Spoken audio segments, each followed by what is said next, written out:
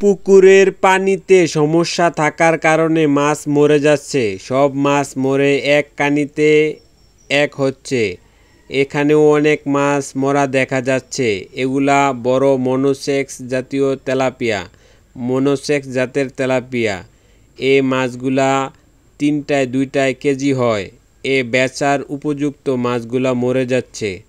আমাদের খামারের পানিতে প্রবলেম দেখা দিয়েছে, গ্যাসের সমস্যা দেখা দিয়েছে।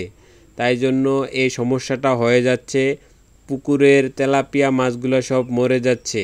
এটার মধ্যে তেলাপিয়া মাছ ছাড়াও রয়েছে পাঙ্গাস ও আরও অন্য অন্য মাছ, কিন্তু শুধু তেলাপিয়া মাছগুলো মরে যাচ্ছে।